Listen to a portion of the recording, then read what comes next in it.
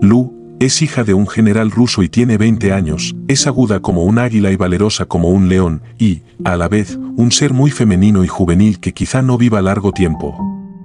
Debo su conocimiento a Malguida von Meisenbuch y a Ree.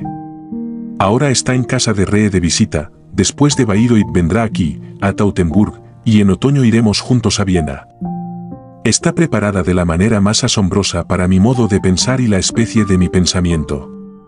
Mi querido amigo, usted nos hará a ambos el honor de apartar de nuestra relación la idea de una relación amorosa.